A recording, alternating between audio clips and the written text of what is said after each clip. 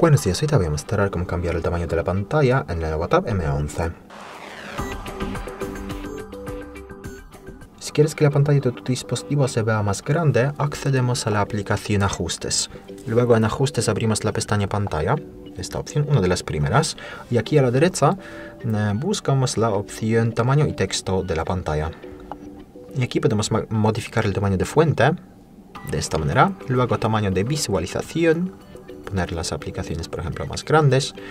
Ah, y también poner texto en negrita. Más abajo puedes restablecer la configuración de ajustes, pero si configuras el tamaño de fuente de visualización y sales de aquí, el cambio ya está introducido.